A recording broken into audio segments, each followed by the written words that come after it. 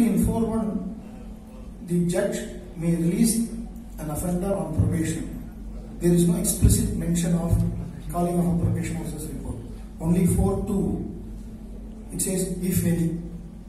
So, if you were to release with 4.1, there is no hard and fast rules that they should be released after calling.